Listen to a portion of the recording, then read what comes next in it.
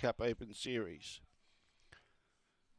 Second heat of the Tab Country Cup Open Series. Green light goes on, even race this one, set to go away. Departure gate being outpaced early. Out wide showing speed. Aston Model is going to get across the inside runners. Moving up to its outside was Barbados Express on the inside departure gate.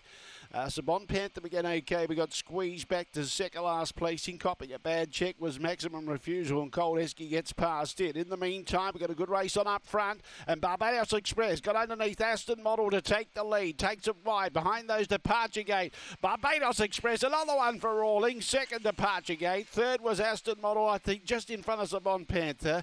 Maximum refusal didn't have much luck, and at the tail end of the field was Cold Esky, and the run was around 30 seconds. Both heats very similar in time.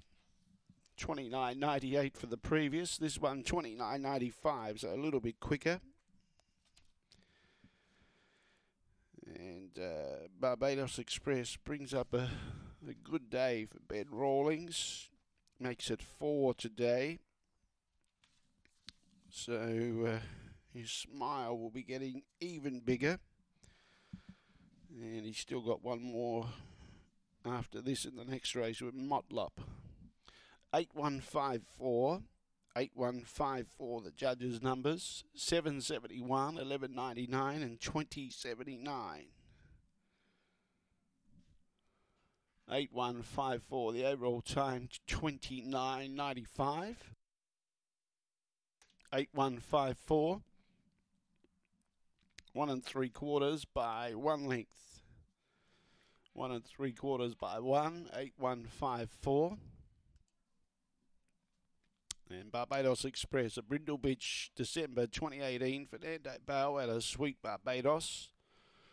Raced by M. Watson along with C and T Arl and T Panazia 2.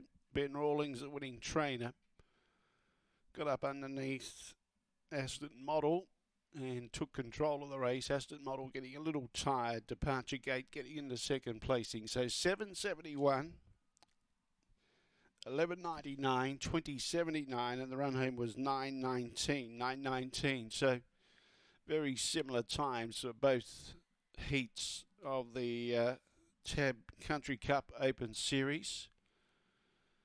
But uh, she was on the outside of Aston Model and then showed good track sense to slip up underneath him around the bend and uh, take control.